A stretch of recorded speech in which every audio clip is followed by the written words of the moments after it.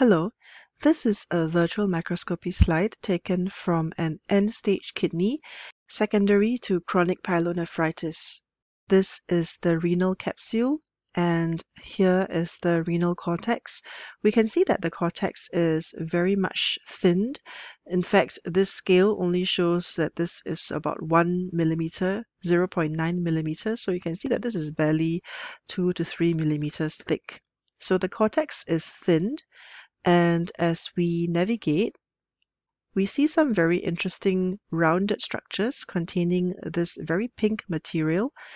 This area represents some renal tubules which are dilated and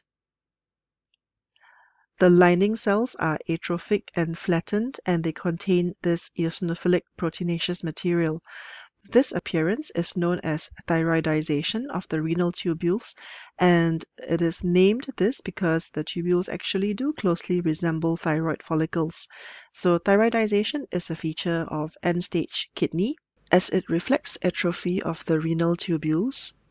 If you look around these areas in the interstitium, you will also see a lot of chronic inflammatory cells, and most of these are lymphocytes.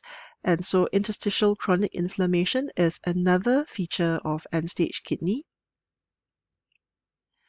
And as we move around, we can see many of these sclerosed pink globular structures, and these actually represent sclerosed glomeruli. So sclerosed glomeruli are also a feature of end-stage kidney. And in addition, as we move along, we can also see some abnormal looking vessels where there is thickening of the tunica media. It is not possible to ascertain what was the cause of end-stage kidney uh, because this is the common final pathway and the common histologic appearance of end-stage kidney due to a variety of etiologic factors. Let's have a look at another example. And here is another case of end-stage kidney, and this is due to hydronephrosis from distal obstruction. And we have again the sclerosed glomerular structures there, here, and also here, and here. And we have a lot of interstitial inflammation. Many of these are just lymphocytes or chronic inflammatory cells. And also in these areas, you can see that the tubules are quite small and atrophic. And also, if you notice, we have some areas which represent thyroidization as well.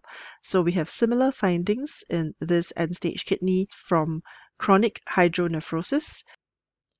Hence, in summary, the features of end-stage kidney include sclerosis of the glomeruli, interstitial inflammation, atrophy and thyroidization of the tubules, and thinning and fibrosis of the renal cortex.